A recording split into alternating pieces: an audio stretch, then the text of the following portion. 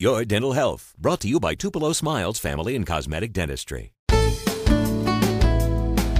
Researchers are finding possible links between gum infections and cardiovascular disease.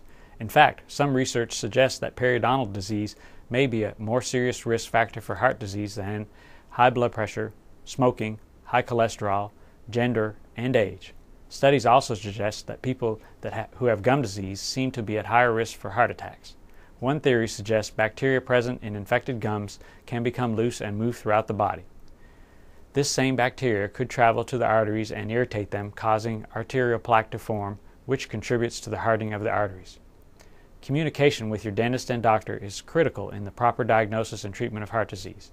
Regular dental examinations are crucial for patients with a history of heart disease to check for any signs of oral pain, infection, or inflammation.